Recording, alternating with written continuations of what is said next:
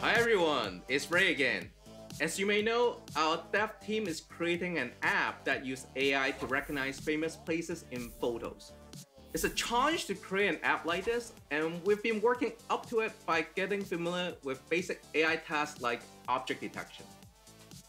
Object detection involves looking at a photo and identifying objects such as buildings or cars. And object recognition is where we can identify a specific building or a specific type of car. Now we know the difference, let's develop some code that can detect cars and then we can adapt it for other type of object across different industries like manufacturing or healthcare. You know what? I'm gonna call my developer friend Adrian to see if we can help me start on my code. He's always tinkering on something that we could use. Hello, Ray. Hey Adrian, I need some code for object detection so we can move along with our landmark recognition app. Do you have any code that I can use to detect objects like cars? Cars?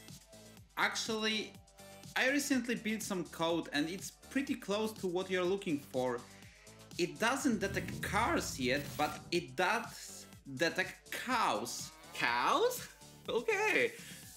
So Adrian, how, how do you get it to work? Tell me more. Well, I used a pre-trained AI model that is supported by OpenVINO and I trained it to learn what a cow is. It was super easy. Okay. I see. Okay, so use OpenVINO. This might be a great start. I may be able to use the same code to detect cars too. Can you send me this code? Of course. I will send you the GitHub link now.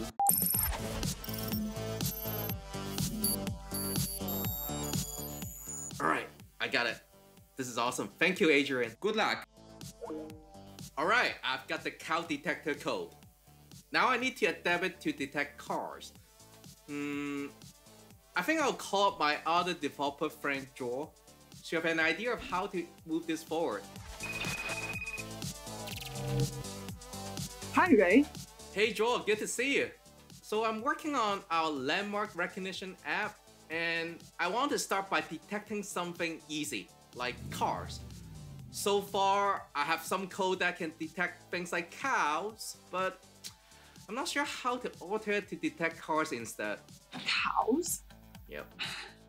Can you guess? It's Adrian's code, isn't it? Yeah, yeah. Okay. Should be too difficult. Let's take a look. With Adrian's code, you can see that this model has all different kinds of objects in the object detection code.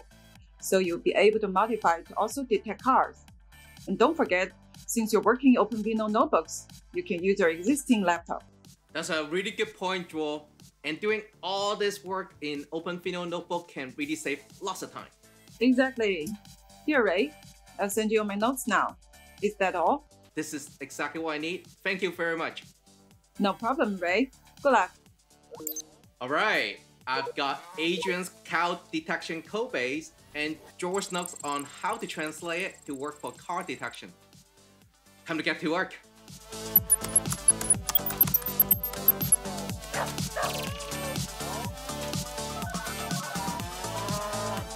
Alright folks, now we have implemented object detection. We can finally work on landmark recognition and retrieval in our next episode.